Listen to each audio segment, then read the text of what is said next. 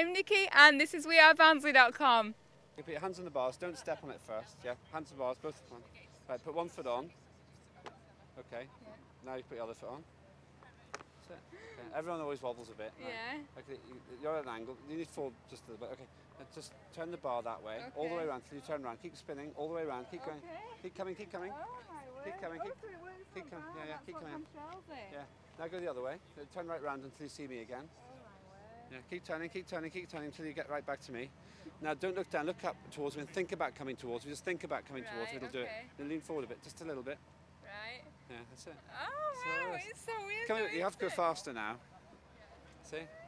It's How good, do you stop? You just lean back. It's automatic. Just lean back? Yeah. And that's it. That is the 90 second training course to learn to use a Segway. What do you think?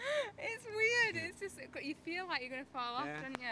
But you see, it's automatic now. You just do it turning automatically. Oh, it's very odd. It's as easy as one, two, three.